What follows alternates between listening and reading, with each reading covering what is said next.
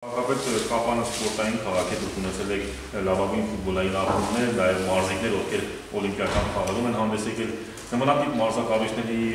իրագործումը որքան մեկ կարևոր է։ Դուք ճիշտ նշեցիք, Կապանը սպորտային քաղաք է, ունի իր պատմությունը, սպորտի կապված եւ բնականաբար նման համալիրների արկայությունը եւ նման համալիրների բացումը լուրջ խթան է սպորտի զարգացման համար նաև շատ լուրջ խթան է հանդիսանալու նաև մեր քաղաքացիների տարբեր բարեկային շենքերի առողջ ապրելակերպ ապրելու եւ իրոք նաև նշվեց ասած ժամանակ եւ օգտակար դառնալու համար կարծում եմ որ նման սպորտային համալիրներում կարող է դրացվել մարզաձևերի հետ կապված, սպորտի մարզումների հետ կապված, այն բոլոր բացերը, որ առկա են մեր սպորտ դպրոցներում եւ տարբեր ակումբներում։ Իսկ քաղաքային իշխանությունը ինչ է ձեռնարկում քաղաքում սպորտային կյանքը բարձրացնել։ Մենք բոլոր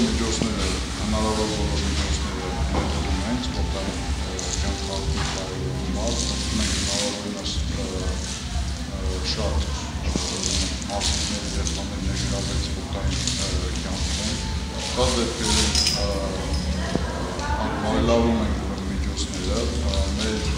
ծրագիր ունենք մեր սպորտի զարգացման հետ կապված։ Ուրեմն արդեն իսկ ամբողջովին նորոգել ենք մեր մանրամասնության դպրոցը, մեկնարկը տվել է նաև Դավիթ Համբարձումյանի մեր մարզադպրոցի նորոգման աշխատանքները։ Նախատեսում ենք նաև նոր սպորտային մանեժ կառուցել մեր ատլետիկայի դպրոցի համար ընդհանուր բարելավում ենք պայմանները եւ հնարավոր բոլոր միջոցները օգտագործում ենք սպորտի զարգացման Պարսակ կապանում անվտանգ միջավայրը չի ինչպեսին անվտանգ միջավայրը, աշարը դաշնիջաստի փակումը, սահմանային խնդիրները եւ նաեւ երկրորդացնել այդ լաշ միջազգի փակման հետևանքով երբ մեստով արցախցիներ մնացել են Հայաստանի տարածքում կապանում նրանց ապաստան տրվել է, բնակավայր տրվել է եւ ինչ տարիքի քաղաքացիներ Լաշինի Միջանցքի հետ կապված ասեմ, որ մեր հայրենակիցներից արցախից մեզ դիմող չի եղել, որովհետեւ հիմնականում նրանք տեղակայված են եղել Գորիս քաղաքում եւ շարունակում նա ընդհանուր իրավիճակը ասեմ, ճանաչում են մնալ նույնը գաղտնիք է չէ, որ կոնֆրանկային ակումբով ճանաչումները մնալ եւ իրավիճակը մեր շրջանում լավացում։ Այստեղ Ադրբեջանը շարունակում է սադրակներ դիմել այն հատվածներով, որտեղ որոնք որ այն հատվածներում, որոնք որ դիտարկում են իրենց դիրքերի կողմից։ Երկայն առաջ խաղացումները գիտեք որ սովորությունները վերջին լուրջ մարտական գործողությունները բոլոր դեպքերով որևէ 14-ին իհարկե միշտ դիրքային եւ դա հեցաշուտ տարբերական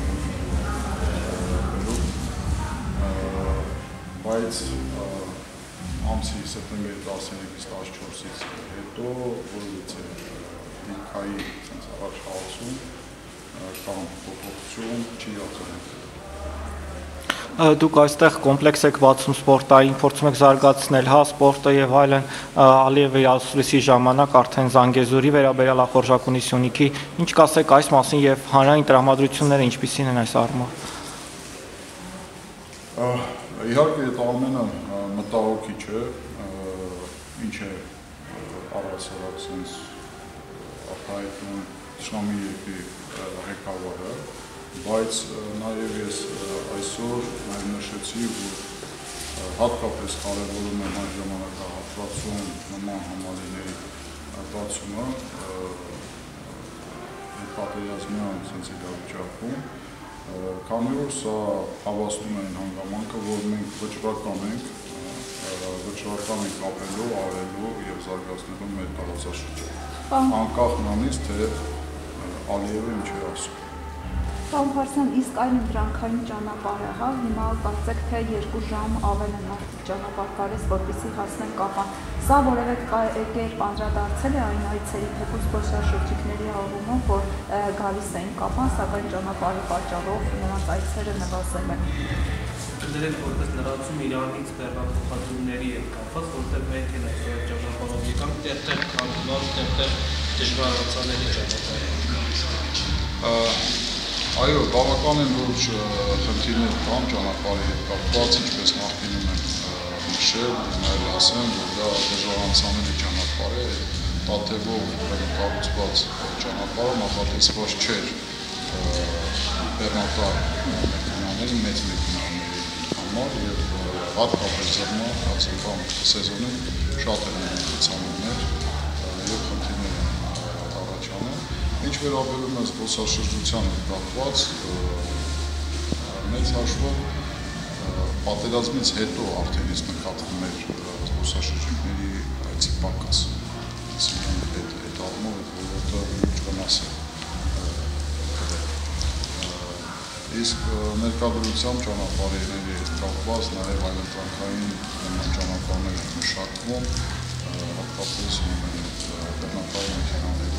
շարժը թեթևացնելու համար։ Պարոն Քարսյան, տեսեք, մեկ ամսից ավելի է փակված է Բերձորի ճանապարհը, բավականին փխրուն անվտանգային իրավիճակ է ստեղծել նաև Հայաստանում։ Ստեղծված իրավիճակում որպես հայ մասունեցի հայ ժողովրդի մեր ազգի անելիքները, որոնք պետք է լինեն այդ իրավիճակում։ Իրականում լուրջ վիճակ է ստեղծվել բնականաբար ոնց թափում չկա, չափահարված է, բայց մենք բոլորս չունեցինպես մասնավորապես կապանցիներս, ոնց ասեցի, մենք շատ բաներ, մենք ապրել, ապրում և ապրել ենք այստեղ ու մեր համար հետ մնաց քայլ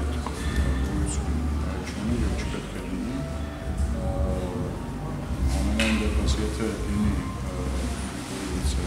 ագրեսիա, մենք պատրաստ ենք պայքարելու եւ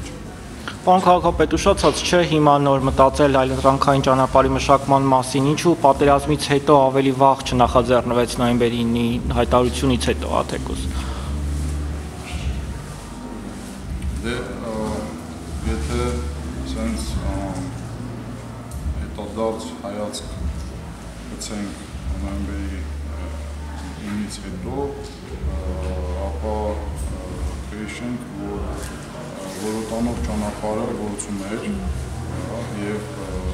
թվում էր թե երաշխավորված էր այդ ճանապարհի անցանելիության ապահովումը, բայց զարգացավ այնպես, որ մի օր ադրբեջանցիները որոշեցին մաքսակետ տեղադրել եւ տանի հատվածը փակել։ Հա, դրանով իսկ մեծ խնդիր